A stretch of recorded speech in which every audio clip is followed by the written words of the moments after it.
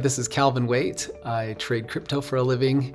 I'm not a registered or licensed financial advisor, planner, or broker, so nothing on this channel should be uh, taken as a recommendation to buy or sell. I also trade all of these things, so I probably have a vested interest in there. Um, but there's plenty of entertainment value and lots of education, so this will be awesome. For those of you who didn't know, my uh, subscription channel is live. So look at the link in the description over at cryptoinfluencers.com and you can see how I make all of my trades and what I do and what I think about everything. This channel is for uh, more hypothetical and looking at trends, and the other one is for actual trading, so you might be interested in that. Hey everybody, here we are on a Thursday. Uh, things are things are looking pretty good. I thought I'd uh, take a minute here. This is this is kind of a fun uh, thing. I, I have been you know I, have been using this uh, AI predictor pretty pretty heavily, and I thought it might be fun to kind of see why I think it's relevant and why I think it's um, giving us a decent look at the information that we have. And so um, this is this is as of yesterday's close. So we've just dipped down a little bit. And the AI was sort of predicting that, that we were, we were, we've kind of had a shelf here and then we've kind of, we're going to pull back a little bit and then find support at this higher level. And then we're going to slowly climb up. Well, uh, where does all this information come from and is it relevant? So that's the, that's the question we're going to try to answer today. So I'm going to uh, pull up the current uh, I, I know I've got some lines and things on here, but I tried to clean it up as best I could. And I also included the most recent data point. Like this is the best data point. The variance is only 11% and, or 11.5% uh, from May, or excuse me, September, I don't know, I keep saying May, September 12th of 2015, which is exactly this day right here. So uh, I'm going to move my face so you can see. There we go. And let's dig in and take a look at what is happening behind the scenes. So this is yesterday's close. So this is the day we're, we're comparing all of our information against. And then this is the day that the AI found that matches the closest in the history of Bitcoin's uh, trading. and what happened is we can look back now, and I've labeled everything so you can see. Uh, if you took yesterday's close uh, and compared it to the day before, uh, the day before we dropped 1.48%. Um, in September of 2015, uh, we dropped 2.17%. So there's a little bit of variance, but you can tell that it's fairly close, right? Uh, the next day's uh, drop from this close was only 7.78%. Uh, uh, and then here it was 1.62%. So you can see that there's a, a slight bit more variance, 0.9% variance between these two data points um, dropping 1.5% roughly and 1.6. This is pretty close. So we're looking at the close versus the close here. Since this scale is so tight, it's hard to see this little difference. Um, here you can see a little bit stronger because um, there's a little bit more, more room here. But from a percentage standpoint, we've dropped from this top down to this bottom here, and it was 1.6% and the bottom of this red candle to the bottom of this is 1.49%. And then we move, we, we move on to the top of this.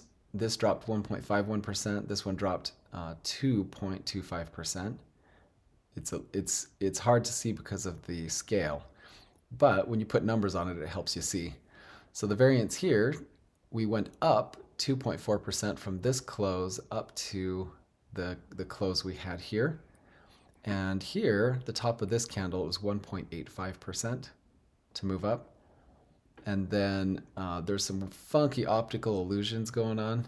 So even though this is supposedly lined up, it doesn't necessarily look like it. so, um, but yeah, 1.4 from this point and 2.3. So we got a full percentage point of variance here. And then from this close, uh, 1.64. And um, here from this close, it was 1.05. So there's a there's a 1% gain from that point. And then we see the biggest jump. So if we go back in history, um, this one, this data point lost 11.42% going to this close. And here we dropped further. So this, out of our 11.5% variance, this data point shows the, the largest difference because we've got 16.7% drop from here to here.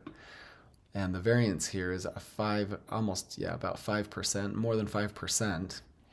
And so this makes up almost half of our 11.5% uh, variance. And then you finally get our last data point. We dropped 13% from this date back here.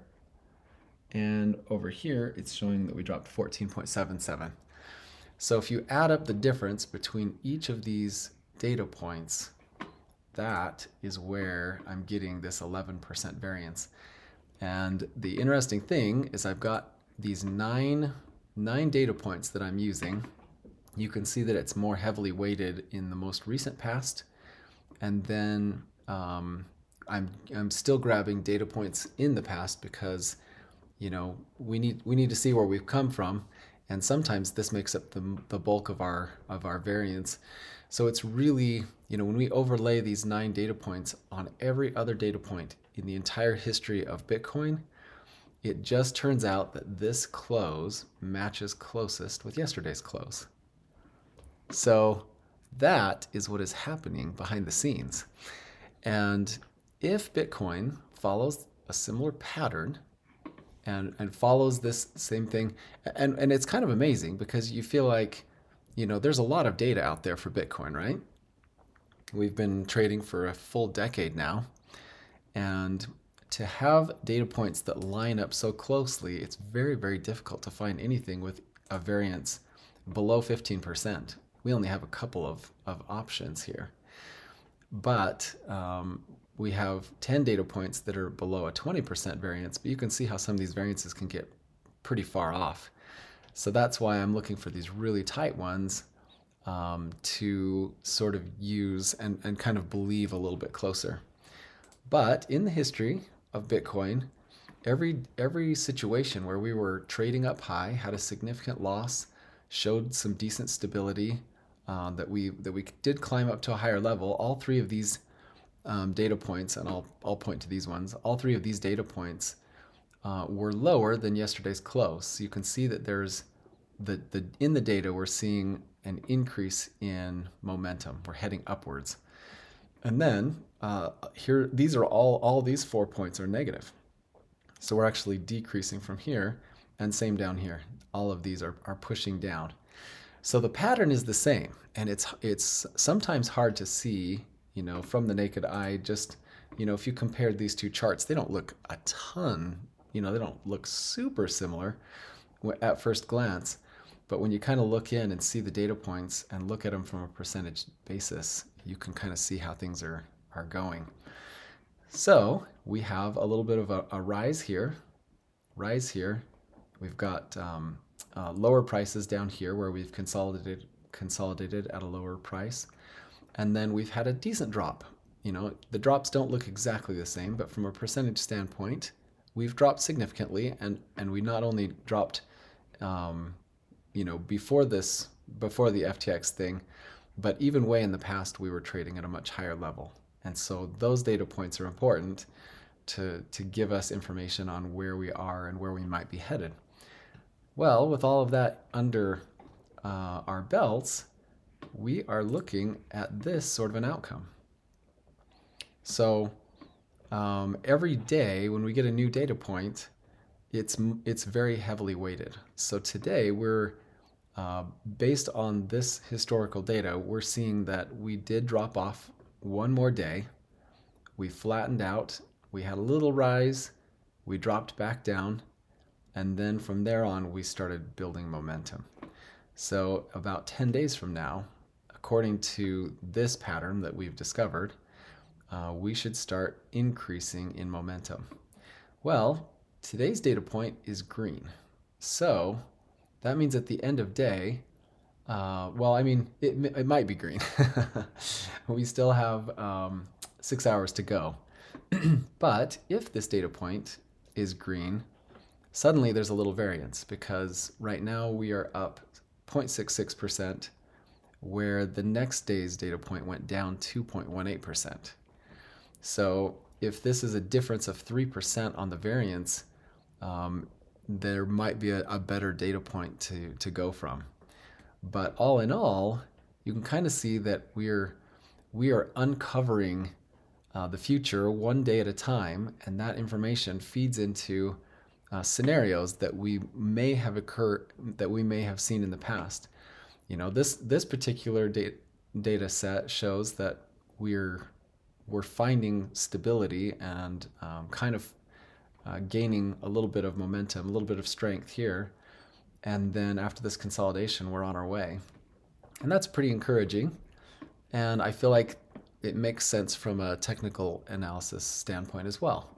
You have a long drop, and when you see consolidation and, and a, a slight show of strength, um, it kind of tells a trader that a lot of that downward fear, a lot of the threats of, of dropping further have kind of been absorbed by this consolidation.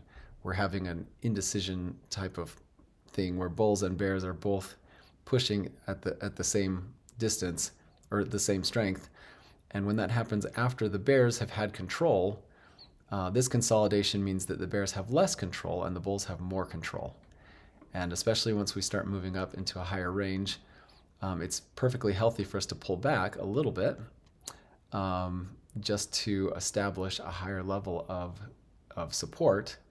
Because right now we're showing a lower resistance. We pull back and show higher support than this support level.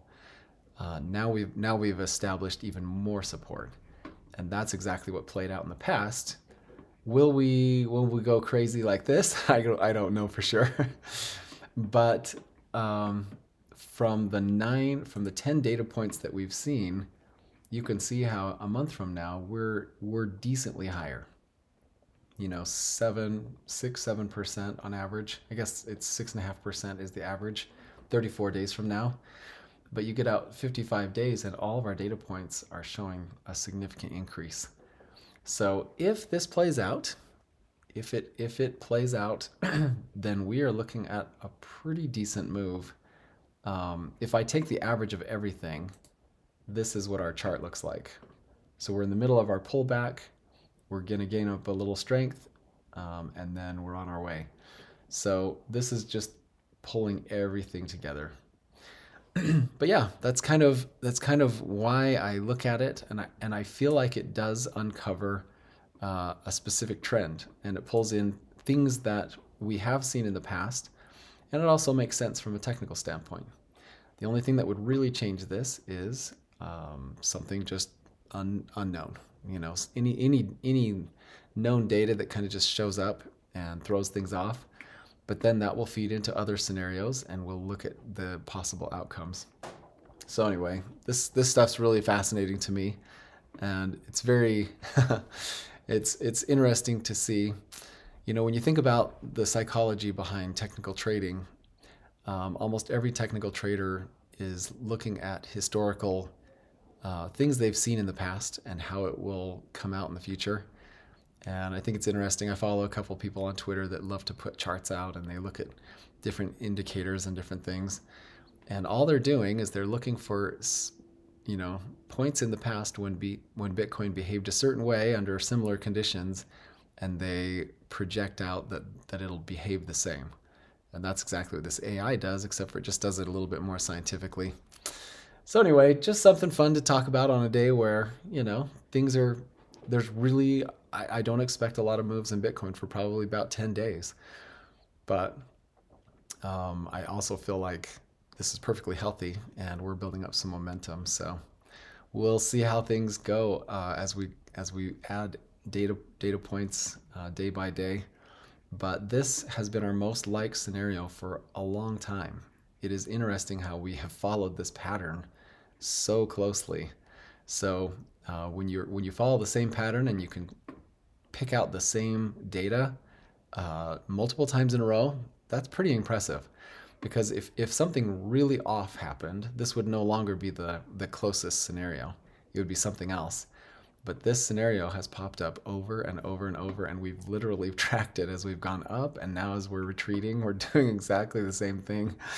So um, I'm just crossing my fingers that we go ahead and do this little little gem. I would not mind to see Bitcoin move up into uh, a significantly higher range, and uh, you know it's on the table. It's on the table. All right, you guys, enjoy your Thursday. Uh, we'll catch in with you tomorrow. Thanks for making it to the end of my video.